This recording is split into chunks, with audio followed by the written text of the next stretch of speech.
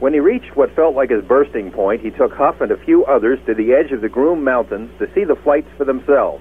A total of five witnesses on two consecutive weeks managed to dodge security patrols long enough to see the strange glowing object lift above the mountain. Uh, it came up above the same mountain. It moved around. It did a step move. It actually went up in the air like this and hovered, then dropped way down. Then it just floated around and cruised around, and then it started coming up the mountain range. This home videotape was recorded during one of the trips to the Groom Mountains.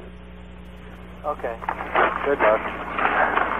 No, what? Did you see that move it did? No, I didn't. It went because like I kept it went boom, boom. Wow, look how bright it's getting. Look at it now. getting bright. Not Here, bright enough for me to get the son of a Here, hold on, right here.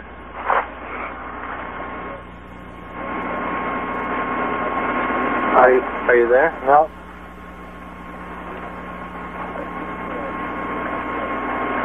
It is bright right now.